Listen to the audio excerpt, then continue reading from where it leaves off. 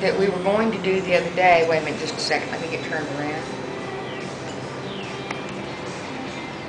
Uh, we were gonna do this the other day, but we ran out of gas.